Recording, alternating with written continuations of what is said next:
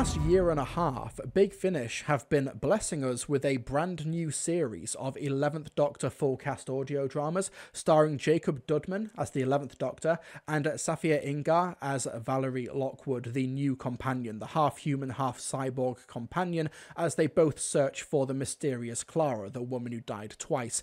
We got in late 2022 Geronimo, then All of Time and Space followed, then we got Broken Hearts.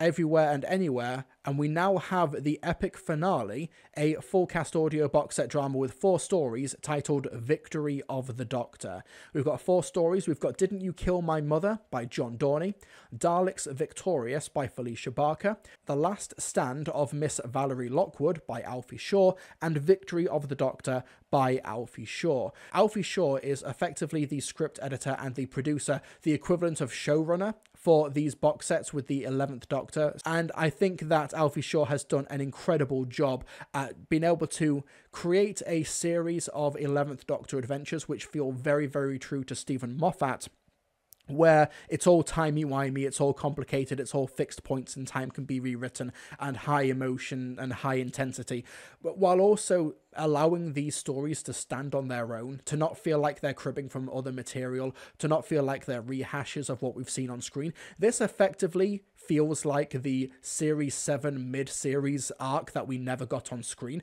And it's quite notable for being the first time that, in like a prominent capacity, that the Paradigm Daleks have featured in a big Finish audio drama. Now, what happened in Victory of the Daleks at the beginning of Series 5 is that Steven Moffat and the crew at the BBC put together a brand new set of Daleks and was hoping that that would be the proper redesign going forward, but fan backlash meant that they retreated on those designs before they could even get explored. We have no idea what they are. And so, like, what's the Eternal Dalek? Are the drones just drones? Is there anything? Is there anything more to them? The different weaponry on the back and stuff. They they, they were very quickly abandoned. It's why there's only like the Supreme Dalek in Asylum of the Daleks, and then when we next see them properly in the Time of the Doctor, they're just now the bronze standard designs now. So Victory of the Doctor serves as a proper satisfying finale for the 11th Doctor and Valerie Lockwood adventures, whilst also serving as an explanation for fans as to what happened to the Paradigm Daleks and why they don't appear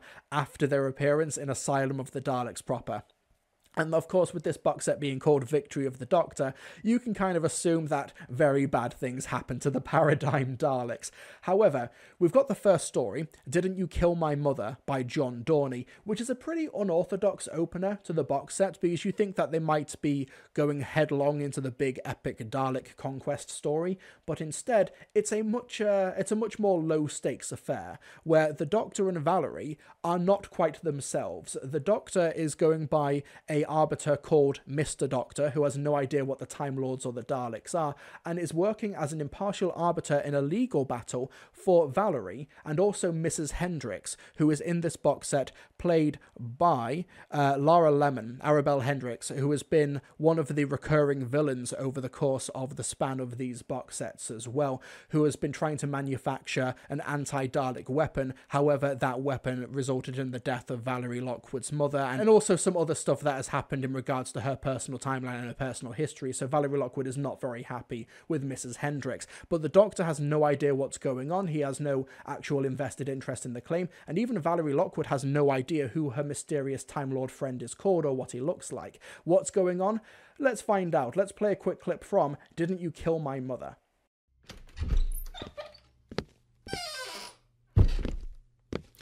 Ah, you're both back. Good to see. He says as if we have a choice. Sorry? We couldn't leave. Couldn't bring yourself to go with things still up in the air, eh? No, she means we literally couldn't leave. There's no exit. Of course there's an exit. Take the lift to the ground floor. There aren't any lifts. Yes, there are. I came up in one this morning. Well, they aren't there now. Miss Lockwood, I promise you. If you. they were there, I wouldn't still be hanging around with her. Still, as much as I'd rather be anywhere else with anyone else. Now, there we do have common ground. Progress. Uh huh. Since I can't get out, seems like my best course of action is to wait for my friend to find me. Your friend with no name? He's got a name and a face. That's good. I find people without them terribly off putting. I just can't remember them right now. Oddly enough, I can't remember them either. But for me, that's quite the relief. The less I can recall about that tiresome meddler, the better. She's only upset because we got the better of her. Yes, congratulations on helping the Daleks conquer the universe. Ah, now I think we're coming to the root of the dispute. Would you like the universe to die screaming, Valerie? No, no, no. I'm not some secret agent for a bunch of killer aliens. Then why do you keep trying to help them? I'm not. I've never even met a Dalek. Every weapon we make to fight, there you are, you and your Time Lord friend, trying to stop us. So there is some interesting moral discussions here about the idea of is it you know, is it a moral thing to do to basically ruin and upend Valerie Lockwood's life in order to try and stop this hypothetical Dalek invasion in the future? Um, however, while I did really enjoy and appreciate Didn't You Kill My Mother, I think that it was one of those stories that might have needed another pass in the script editing or another draft because it starts with a really interesting mystery of why do the doctor and Valerie not really know each other? What's going on? Why is the why is the Matt Smith doctor this impartial arbiter who goes by Mr. Doctor why is this strange person called Tim who is like the only other employee at this legal firm? What what on earth is his deal? Uh, Tim is played by Homer Todiwala who is also seems like he's channeling some sort of weird like Jacob Dudman impression of the of the Matt Smith Doctor as well. They're a really great double act, and I think that that uh, um, that resemblance audibly was not a coincidence. It would it makes a really interesting casting there. Now that's a really cool mystery.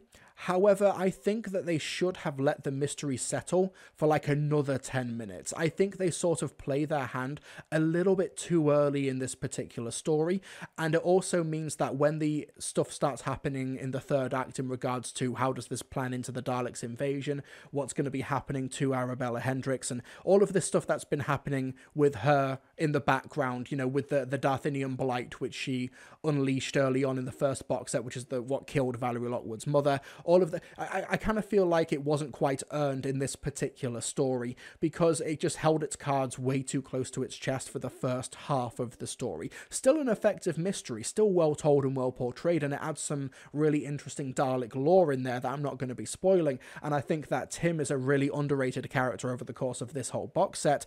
But I do think that this is one where they should have maybe, if they're going to go for the really understated opener, where you expect this epic paradigm Dalek reunion uh, battle between the 11th Doctor and them.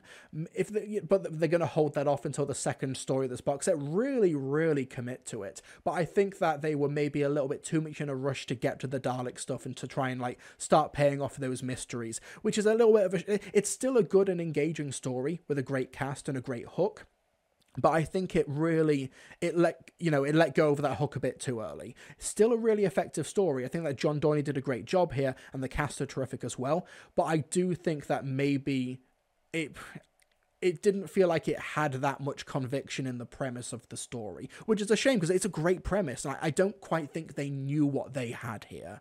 I think that they were you know, it, it, it's an essential chapter because all, you know, I can't tell you to skip this one, nor would I ask you to skip it. It's still really good.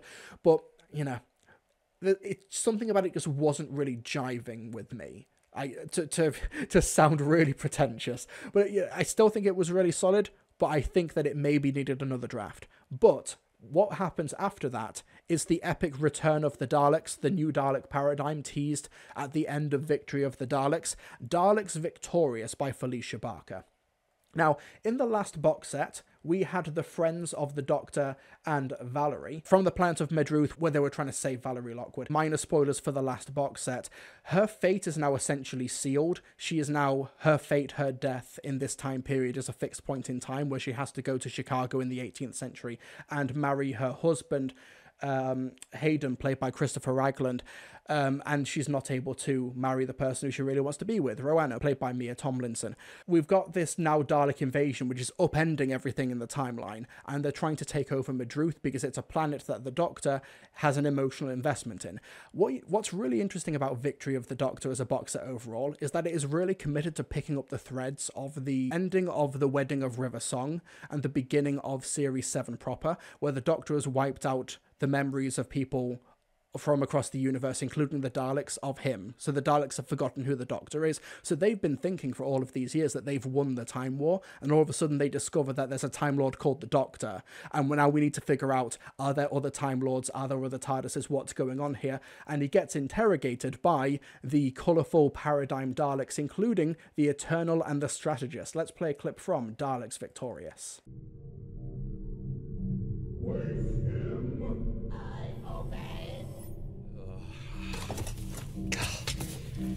Ever considered making a stun ray that's not quite so ouchy?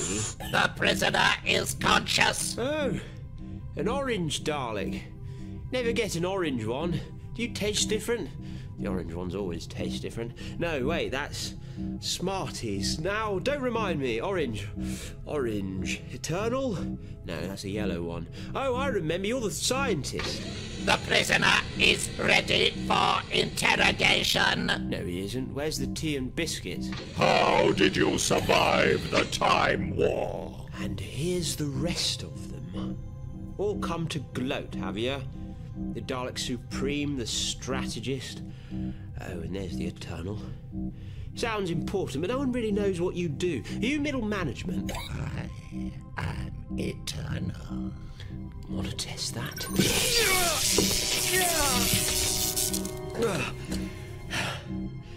You will answer. How did you survive the Time War? What's it to you? Dalek victory must be assured. Explain your survival. Victory? You think you won the Time War? The Daleks survived. The Time Lords did not. Conclusion We are the victors. And then you discovered me. Even after everything I did, you still found me. How did you survive? How many other Time Lords survived? Of course, if the Time Lords didn't all die, I suppose you haven't really won anything, have you? Answer! I don't answer to Daleks. You will. So, Daleks Victorious is a full on depressing war story where the Daleks are essentially trying to commit genocide on the planet of Madruth, which is a planet where, you know, the Doctor has an emotional stake in, and of course, it is the planet where Valerie Lockwood's uh, future girlfriend and love of her life is currently living, and her future husband as well, Hayden, are trying to mount a last ditch offensive against Daleks, which are more powerful than anything that the Doctor has faced before, because it's the brand new paradigm, and they really came to win this time. And it turns out that after forgetting the Doctor, after losing the memories of him from their minds. The doctor thought it would make them weaker because they thought that my the fear of me is what's making them strong. Turns out it's the opposite because the Daleks now think that they have no equal in the universe and are now really playing for keeps here. And I think what we've got with Felicia Barker's script here is just the Saving Private Ryan of Doctor Who, where it's just now this hopeless war situation where the Doctor is going to try and do his best to fight off against this new paradigm and try and also save the people who Valerie wants to hold close to her heart. But it's just an absolute losing battle here. The Daleks are incredibly intimidating, very powerful. And one thing that does slightly hold this story back is that it reintroduces a villain from several box sets ago that personally I'd completely forgotten about.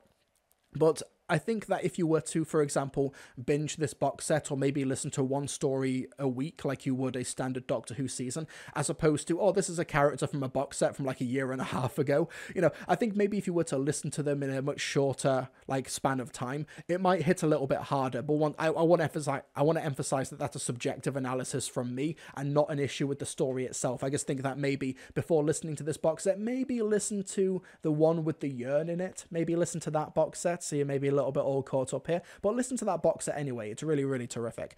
But what happens with uh, this particular story, Daleks Victorious, is that this is essentially the all is lost moment of the box set, where the Daleks do become victorious because it's in the title. It's a really clever wordplay on Time Lord Victorious, of course, and it really pushes the 11th Doctor into a really interesting and quite depressing position. The final minutes of the box set are incredibly, incredibly somber, and Jacob Dudman as the 11th Doctor really rises to the task. And like, it, it honestly nearly had me on the brink of tears uh, in terms of like the performance and what, what the 11th Doctor was going through and experiencing. It really, really puts him on an incredibly low note. Uh, the music is absolutely terrific as well. This is from Borna Matosic, who you may remember did the really, really awesome covers of uh, The Shepherd's Boy on electric guitar and the Doomsday cover. He's doing audio for Big Finish now, and he does the audio for this box set, the music for this box set, and it's so terrific. It, it, it makes me a little bit sad that the isolated score is not available on this box set. They've not made it available. They really, really should. So good, so good. I did say that this was the all is lost moment of the box set. I might have been fibbing a little bit because we have the third story written by Alfie Shaw, The Last Stand of Miss Valerie Lockwood. Uh, the and the synopsis here: Rest in peace, Valerie Lockwood, 6th of October, 5324 and the rest and the death date is the 1st of May 1893. So this is another like timey-wimey uh, story which seems to promise the the death of Miss Valerie Lockwood the companion. And now we do know that her death is a fixed point in time because of what happened at the events of the last box set. And basically she can travel with the doctor however long she wants, but eventually she is going to have to go back to Chicago in the 19th century and live out her days with uh, with a husband who she does she does love and care about, but she's more a slave to the web of time right now, and her fate is kind of out of her hands, depressingly. Very similar to other companions of the 11th Doctor. Like I said before, Alfie Shaw's doing a really great job of building on the foundations of Steven Moffat's timey-wimey story while still carving out something incredibly unique and emotionally impactful. So the last stand of Miss Valerie Lockwood has the Doctor trying to figure out how on earth to stop the new Dalek paradigm. And while it does open with a pretty promising start, in that uh, Valerie Lockwood and Roanna decide that they're going to get engaged with each other. They're going to live for the moment. They're going to live this day like it's their last.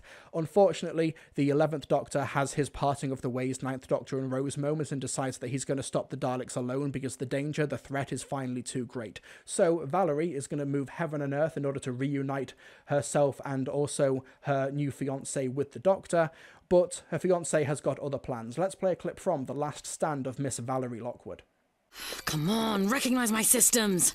What are you doing? Seeing if I can get this old comms unit to turn on. I get this map app working, we can find the nearest spaceport. Good idea. We can use their comms tower to send out an SOS. Get someone to pick us up when the Daleks have gone. I was thinking more along the lines of getting a ship to fly at the Dalek fleet. Valerie, no. Ah! Look, I know this is hard for you, but he- he's gone to save us. So we just let him die? yes. No. I don't want him to die, but think of everything he's saving. He's giving up everything to save us. I can't. Okay, I just can't. I lost Mum, I lost Hayden, I'm gonna lose you. There has to be something. I have to do something. I can't lose him as well. Why did you give me this ring? What? The engagement ring. Why did you propose? Why do I have this ring? Because I love you. And I love you. And the doctor loved you in a different way. We are both doing what we can to protect you. I don't need you Yes, to. you do. Because you're a good person. And you'd happily throw yourself into every hell to try and make it better. It's why I love you. And it's why I will take off my regulator, drain any power supply I can find, and carry you kicking and screaming to that spaceport. We get to live, Valerie. It's what he would have wanted. Don't think the Daleks agree with you. Why are they coming back from us? They want to kill everything that isn't them. Your body's laced with a surge, leverage over the Doctor. Time Lord forces will surrender or be exterminated. I thought you said the Time Lords were all dead. They are. Well, the Doctor seems to think they are. So, the last stand of Miss Valerie Lockwood is essentially Valerie trying to move heaven and earth in order to be reunited with the Doctor again and find some way in order to stop the Dalek paradigm from taking away everything that she wants in this world.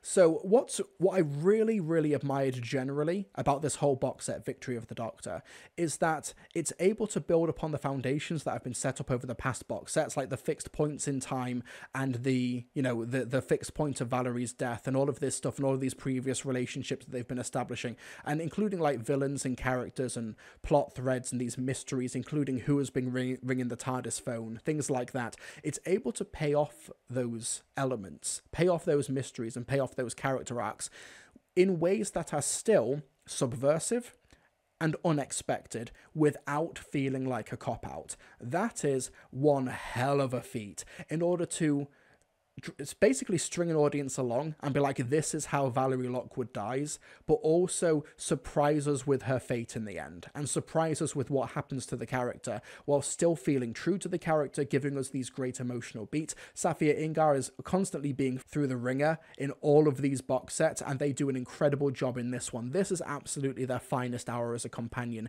The Last Stand of Miss Valerie Lockwood. It's an absolutely superb hour of audio. And honestly, the ending, the third act, not only was, once again, I was kind of on the brink of tears as well, there's some immensely satisfying, triumphant, like punching the air as you're listening to this story moments. Jacob Dudman is outstanding. I think that Mia Tomlinson is terrific as well. The chemistry and the back and forth with her and Valerie is absolutely sublime. It feels emotionally true. It's absolutely amazing. This is like honestly the epic like bad wolf ending cliffhanger moment you know where the doctor promises to save rose and we have no idea how he's going to do it but because he promised it's going to pan out now I'm not going to play any clips from Victory of the Doctor. The synopsis says he told them to run, they should have listened. And I'm going to honor the complete lack of spoilers and the complete lack of specifics there. And obviously, if I play a clip and Valerie's there or Valerie's not there, it's going to confirm or deny all of the stuff and all of the mysteries. And I think that you should be listening to Victory of the Doctor yourself.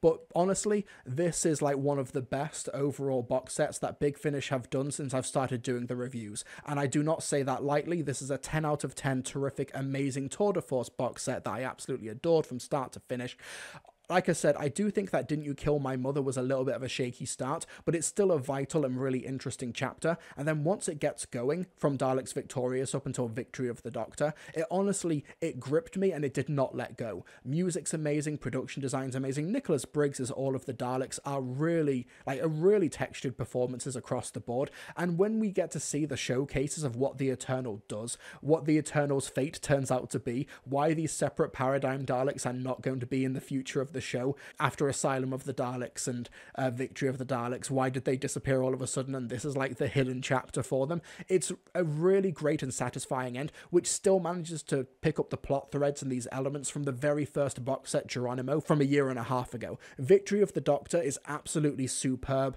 sublime storytelling. Loved it from beginning to end. I cannot recommend it highly enough. And this is a brilliant end to the, to the 11th Doctor's range with Jacob Dudman and Safiyya Ingar are. They are an absolute incredible power couple in these audio box sets. It's probably the best season of Doctor Who that we never got. It's so satisfying. It ties up everything so nicely. Like I said, it didn't feel like a cop out for a second. And also, I just I know that it's a bit reductive to just like thank one particular person, but massive thank you just to Alfie Shaw for like giving us this story, giving us these characters, giving us what is unambiguous, terrific fan service with the Paradigm Daleks and, you know, the Cyberman conversion story in the last one. But like, obviously, we're getting these incredible moments of fan service and these great villain showcases, but telling a really great standalone story that does the 11th Doctor and Steven Moffat's vision for that character incredible justice, cast a great, I really cannot fault like the last three episodes. They they're a massive roller coaster of emotions, from bombastic triumphant highs to really somber and incredibly mournful lows. It's honestly the complete package, an incredible finale, one of the best like modern Who finales generally. Like honestly, in terms of ranking the revived series, it's like Bad Wolf and the Parting of the Ways and like Victory of the Doctors. Like they're like side by side now. Incredible stuff genuinely top tier big finish. I will be I will eat one of my cats if Victory of the Doctor is not in my top 3 box sets of 2024 by the end of the year. I, I, I am that confident. It's incredible work, and I genuinely can't wait to see what Alfie Shaw does next. Like what uh, era of the show he'll put his stamp on next. So like, honestly, just thank you, Alfie Shaw, for for being the the spearhead and the creative conduit. One of many, I'm sure. It's a collaborative process, but uh, you know, uh, I, I, you can probably tell that I'm finding it a little bit hard to sort of express uh, my gratitude uh, for a range as uh, really um, really affecting as this that is able to basically like, over the course of four box sets and a bit with broken hearts like always swinging for the fences like always like going full committing to the bit committing to the vibes and like like yeah it's it's it's it's a real like proper achievement it's it's what i would call like an unambiguous modern classic from big finish if you are an 11th doctor fan you should have been listening to this range yesterday start from geronimo all of time and space don't skip on Broken Hearts. That's the series part one finale for all intents and purposes. Everywhere and Anywhere and Victory of the Doctor. It's pricey, but you can get bundles and you should definitely be picking up this range. And also maybe try and like listen to the episodes weekly. I think that might really help for them as well. But yeah, Victory of the Doctor, an unambiguous 10 out of 10 of a box set. Incredible creative team, incredible cast and crew. Loved it, loved it it's the this is like a victory for everyone involved and i cannot commend them enough